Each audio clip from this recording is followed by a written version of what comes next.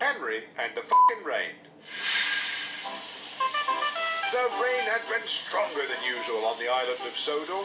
All the engines had to be very careful as the rails were slippery and wet. Parts of the line were flooded, causing the trains to run late. The passengers didn't like that at all. You suck, said one of them. Piss off, said Thomas. It's not fair, muttered Henry one morning. They should appreciate that we're still running at all.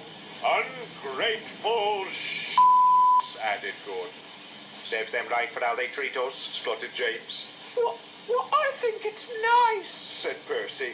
People always look so excited whenever I enter a station now. That's because they think you're a passenger train, grumbled Gordon. Well, yes, but I still like the attention, peeped Percy. Henry hated the rain most of all. The passengers would always look so crossly at him as he pulled into the station. And because the trains weren't running to their usual schedule, they were often packed and heavy. The coaches would say as their doors finally slammed shut. Journey, the passengers would complain further. Fuck this, they'd say. This coach smells like dog shit, shouted one. This would never happen in Chuggington, said another. Henry was glad when they reached the final station. On his way back, Henry thought he could teach the passengers a lesson. He thought about stopping in a tunnel, uh, but then he'd remembered that he'd already done that once, and if his idol Madonna had taught him anything, it's that he should be a bad bitch, but also that no one likes a one-trick pony. Oh, I know, that'll show them. As he came closer to the first station, instead of slowing down, Henry started to pick up speed. Slow down, shouted his driver. Fuck you, tooted Henry. The driver tried to put the brakes on, but Henry was going too fast. His brake block screaming, Henry skidded through the station.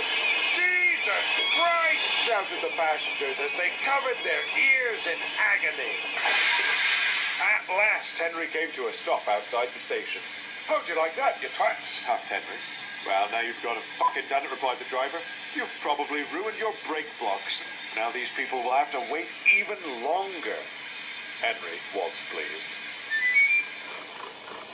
Soon a bus arrived to take the people to the next station. Busmaker! shouted Henry.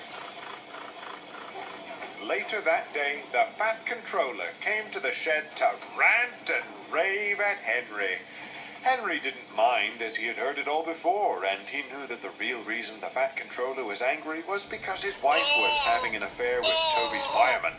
Henry closed his eyes as he felt the rain starting to leak through the shed roof. He was soon fast asleep, knowing that while he was sure to be punished for his actions at a later time, at least now he had some nice passenger free days at the works to look forward to.